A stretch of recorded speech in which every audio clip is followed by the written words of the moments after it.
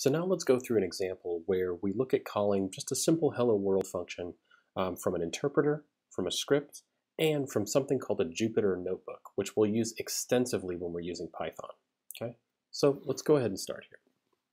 The first thing that we'll do um, is let's go over here and I'm going to open a terminal.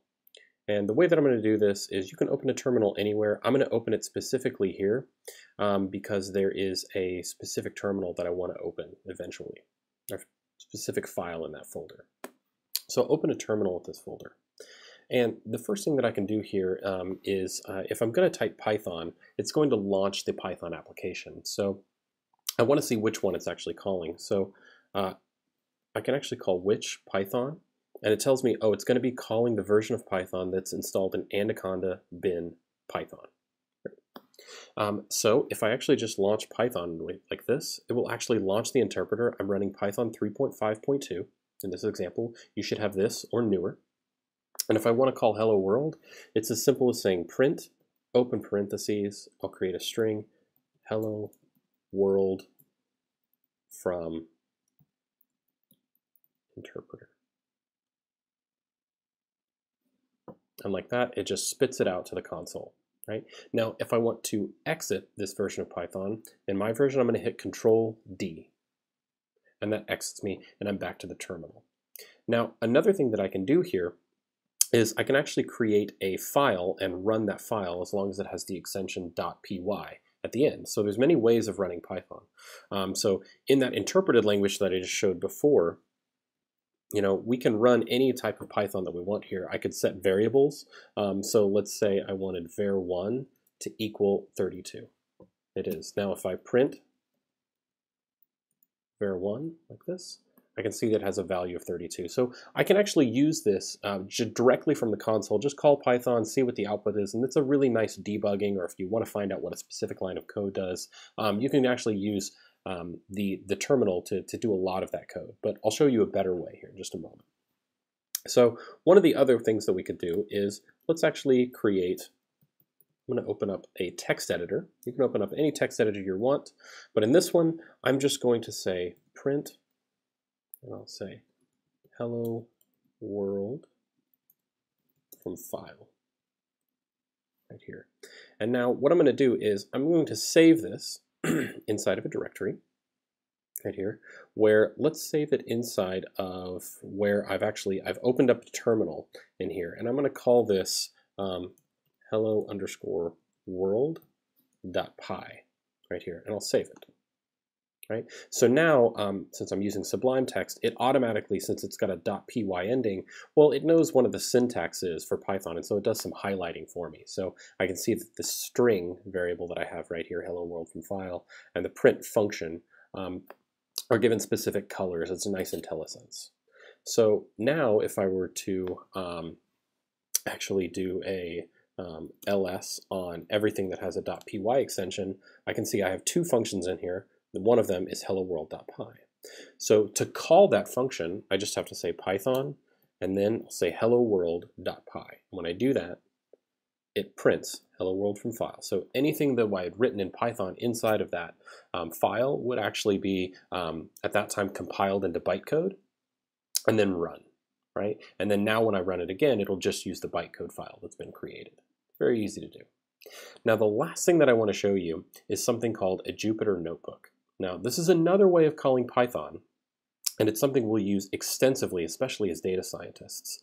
But essentially what it does is it opens up a local hosted web server, such that now when I go in and I look at the, um, the interpreted notebook that I have, I'm going to be able to run Python from my web browser.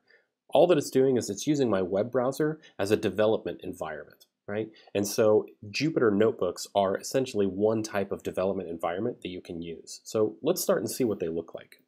all I'm going to do is I'm going to type Jupyter notebook.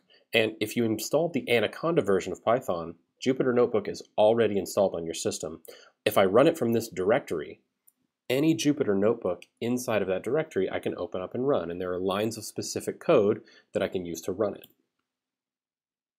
If you're familiar with R or if you're familiar with using MATLAB, this is going to be a very, very similar interface, a very similar development environment that we want to use.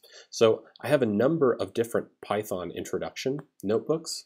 What we'll do is we'll just create our own. I'm just going to create a new um, Python 3, um, and there's a lot of different environments that I'll talk about later, but essentially I'm going to open up one of these. If you haven't installed environments, you'll just see like a Python 3 right here.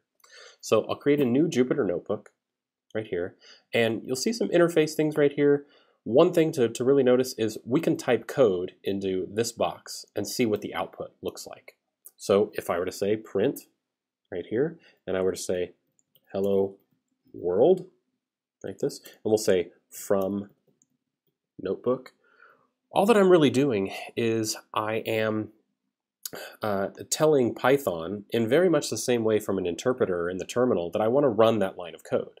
It'll run that line of code, right? So I can actually hit the um, the play button, run this cell, right? So if I click run cell, I can see, oh, I've just run this cell. And I can print hello world from notebook right here. Um, and this is a very interesting thing because any variables that I create are going to be stored kind of globally um, inside of this session of Python that I have right here. And so I can run new lines of code right here. I can perform visualizations. I can do lots of things that are going to be interesting from a data science standpoint and from just a numerical programming standpoint and use them inside of a Jupyter notebook.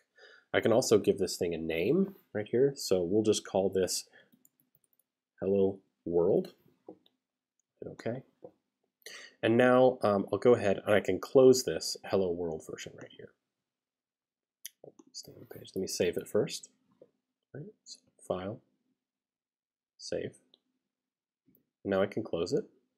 And you can see that it's still running in the background, right? But I could be running all sorts of these other um, notebook files. So the one that we just created is called helloworld.ipynb.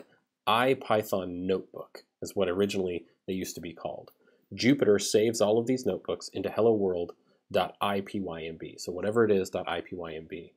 As long as you open up a terminal where a notebook is installed and launch Jupyter Notebook, you'll get access to any of the Jupyter notebooks that are in there right? And so we'll use these extensively in the class, especially for doing some of the examples because they're really, really nice um, to be able to look at some, some blocks of code and be able to look at the output. What does that code look like? Rather than trying to run them straight from the terminal or from a file. These are just going to be rapidly being able to use a lot of the examples that we have out of the box.